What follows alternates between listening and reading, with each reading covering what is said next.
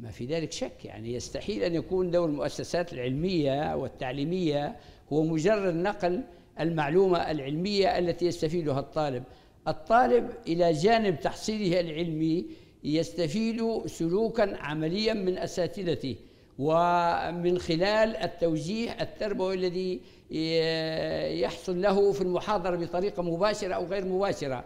وهذا ما عهد عليه وهذا ما عهده علماء المسلمين في طلبهم للعلم في المعاهد العلمية الإسلامية الكبرى وما كانوا يتخلقون به إلى جانب محافظتهم على الصلاة.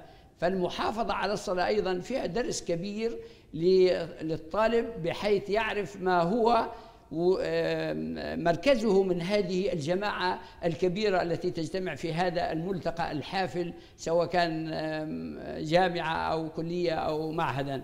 فلا شك أن الجانب التعليمي التربوي يعني يصاحبه الاكتساب للآداب والأخلاق الإسلامية التي تشعر الطالب بأنه هو جزء من وحدة متكاملة هي المجتمع الإسلامي. نعم نعم.